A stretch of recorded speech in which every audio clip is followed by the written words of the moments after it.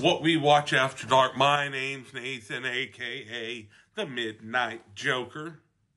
And today we are going to go over one of my favorite films, Fast Times at Ridgemont High. It is a, uh, it has a director of Amy Heckerling, and the writer was Cameron Crowe.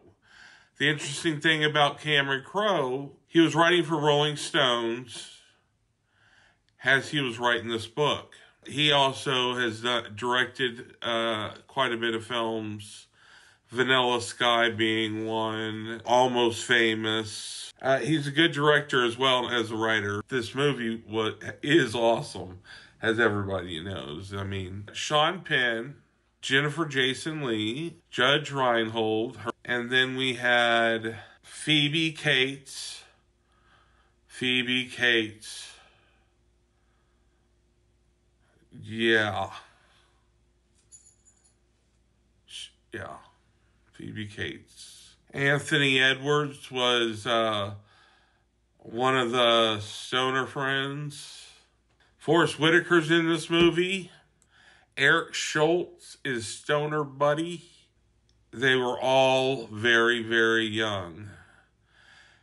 Uh, it's the first appearance of Nicolas Cage, aka Nicolas Coppola, in this film. Uh, that's his credit on there. He tried to lie about his age to get a bigger part. It didn't work. But I think you're really going to like the trailer, so I'm going to go ahead and roll that for you. Universal Pictures presents everything you always wanted to do in high school with everyone you always wanted to do it with. Hey, bud, let's party. They're the students of Ridgemont High.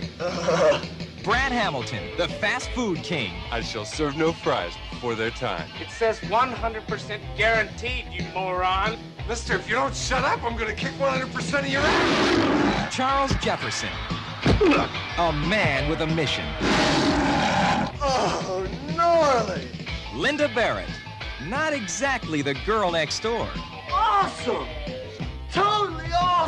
And Jeff surfs up Spicoli. People on 'ludes should not drive.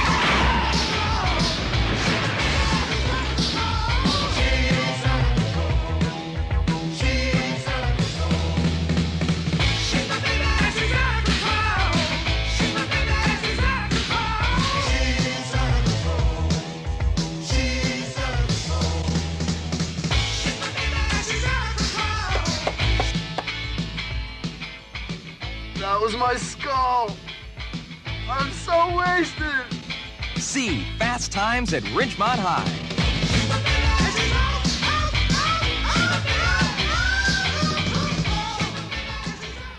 And we're back. That was uh, a real nostalgia getter. Now, this movie has a fantastic soundtrack to it. A lot of Tom Petty, Go Go's. I mean, all, I mean, so many bands are in here. And it's partly because Cameron Crowe used to work for Rolling Stones. The other thing that's really, you know, interesting is they played a joke on Phoebe Cates. They gave Judge Reinhold a really big dildo, supposedly, that he was uh, rubbing on when she walked in. And so her face is kind of a real reaction to, like, I mean, because it was probably, I think it was probably a pretty big dildo. Jennifer Jason Leigh does a fabulous job. Forest Whitaker does a great job. Has the has the head football guy of their drives around the best car. And Forest Whitaker in this movie is really really cool. I just thought I think the whole movie's just hilarious and the cast really worked together.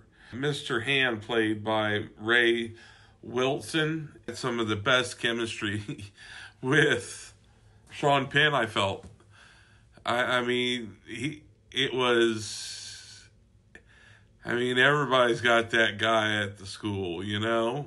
From what Amy Heckerling said was that she wanted something that was a, an unconventional comedy. It was like American Graffiti. A little bit dark, but it's like you woke up in a film, but you're happy about it. I strongly suggest it at a nine because it's so funny.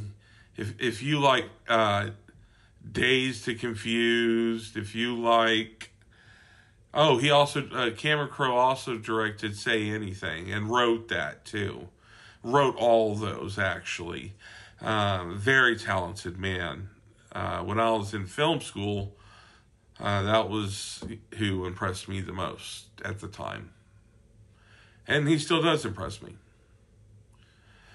But we have come to another end of a great show.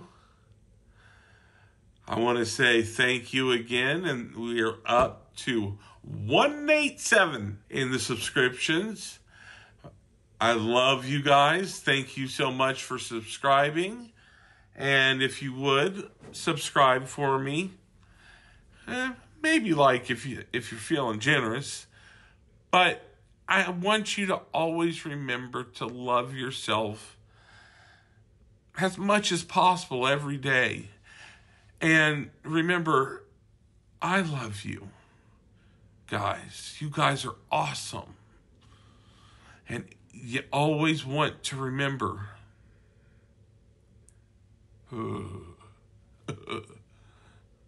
get you some.